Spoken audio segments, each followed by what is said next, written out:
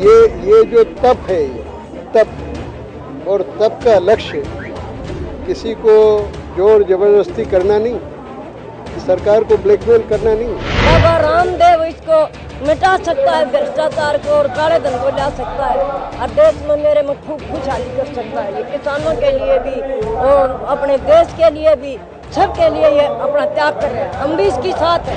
हम उनके साथ है मरने के लिए भी तैयार है। अगर ये जो कानून है जो तीन तरीके की मांगे वगैरह है वो मांग लेंगे तब तक हम यहाँ डटे रहेंगे। सीने के जख्म जल उठे दिल की आग से। सीने के जख्म जल उठे दिल की आग से। घर को आग लगी घर के चिराग से। इन काले अंग्रेज़ों को इंसानियत और हिंदुस्तानियत सिखानी है। अब हमारा काला धन देश का 400 लाख करोड़ रुपए ज़रूर आएगा और भ्रष्टाचार मुक्त देश होगा। वंदे मातरम। भारत माता की जय। जी हमारी आत्मा की बात उठाते हैं कि शिक्षा व्यवस्था सुधार होना चाहिए। शिक्षा व्यवस्था भारतीय भाषाओं में होनी चाहिए। अंग्रेज़ी का खात्मा होना चाहिए। ये हमारी पीड़ा आपने उठाई तो हम पूरे तहे दिल से इनके साथ हैं।